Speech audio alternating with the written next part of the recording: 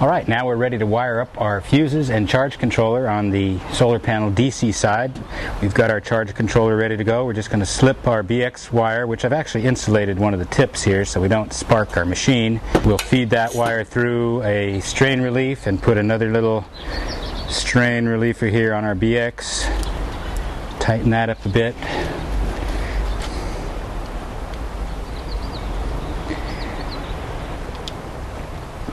So you can see with that little spark there that we do have power and we should use some kind of fusing in here just so if something goes wrong the fuse blows out instead of the electronics. So we've got standard car fuse. This one's rated at 40 amps at 32 volts.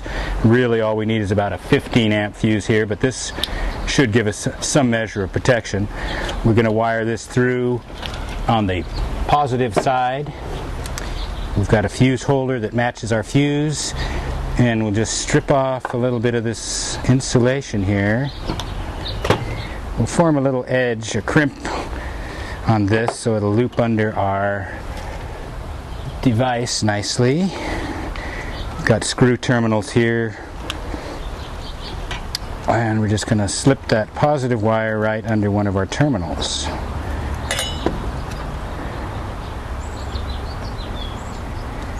In a larger installation, this would be done in a separate box, but for a small one, this should be fine.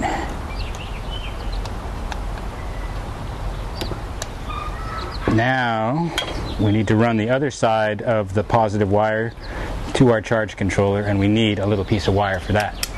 So now we've got our little jumper wire ready to go. We're going to strip that off and connect it to the other side of our fuse.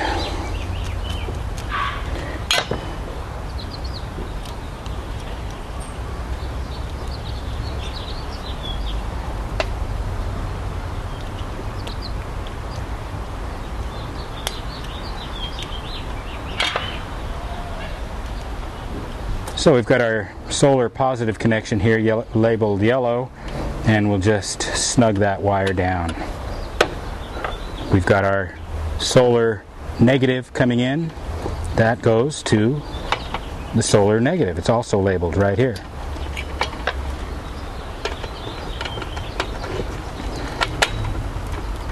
And we've got our little ground wire. Let's strip that off.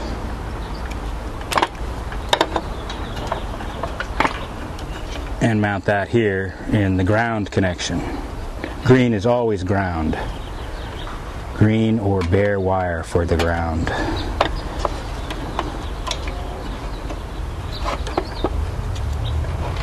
Right in there.